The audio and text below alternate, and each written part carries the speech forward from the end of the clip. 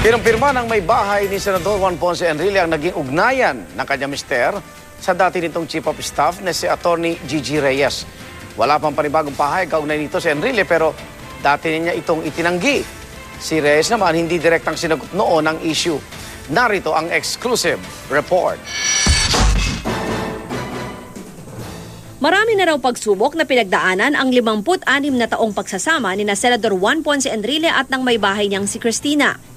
Roller coaster nga kung ilarawan ni Ginang Cristina ang kanilang buhay mag-asawa. Kwento ni Mrs. Enrile, sadyang lapitin daw ng mga babae ang kanyang mister. Minsan daw ay may sinugod pa si Mrs. Enrile na karelasyon ng mister. So I went to the house, I kicked the doors and kicked the doors and kicked the doors. Oh. And then I shut the door and then I left.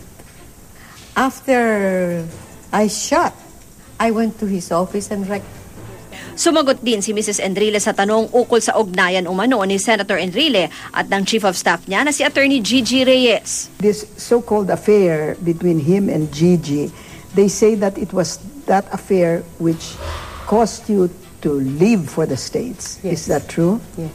I- i- it is true. It is what, what, what was your purpose for leaving for the States? because I wanted to get a divorce.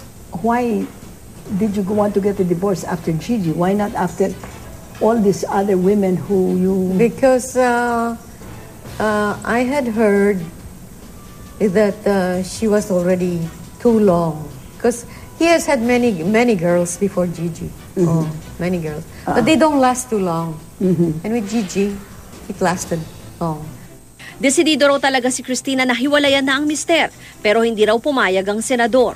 He called and he said, over my dead body will I give you a divorce. Hindi natuloy ang diborsyo. Kwento ni Christina, minsan na raw silang nagkaharap ni Reyes. Have you No. met her? Yes, only one time. What happened? I would rather not say it. Did you? no, it was not nice. It was not nice. No.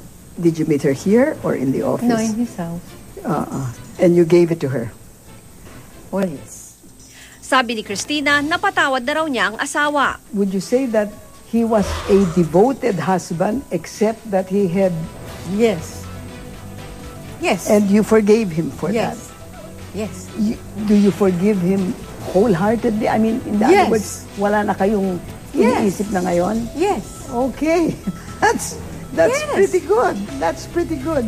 Naniniwala rin si Christina na walang kinalaman ng mister sa bilyon-bilyong pisong pork barrel scam at maging ang umano'y smuggling sa Cagayan.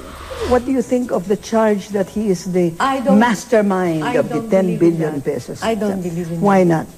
Because I don't think John is that stupid. Do you think that he is smuggling lord in No, Cagayan? no, with, with, that I with can, his I can vouch for it. No, from the very beginning he said, I was present in the meeting, he said, I don't want to know that anybody tries to smuggle anything, even a toothpick. Ruth Cabal, GMA News.